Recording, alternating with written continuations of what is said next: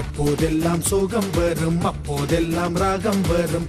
கைக்குட்டை போலே வந்து கண்ணீர் துடைக்கும். சின்ன பிறைக்குள் மூடி கிடந்த முழு நிலவை போல இருந்தோம். இன்று உலகம் எங்கும் வீச வீச வெளிச்சம் கொண்டு வந்தோம்